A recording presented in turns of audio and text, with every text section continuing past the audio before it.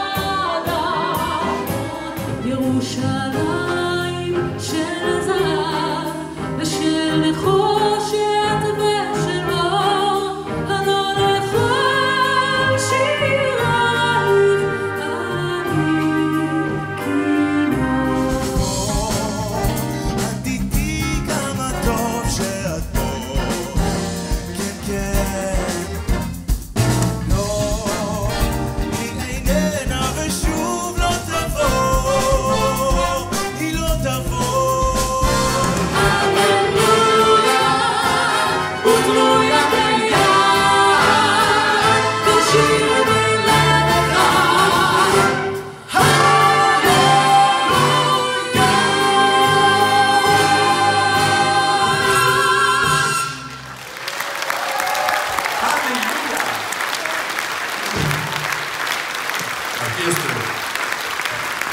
Анна Штейфрехлен.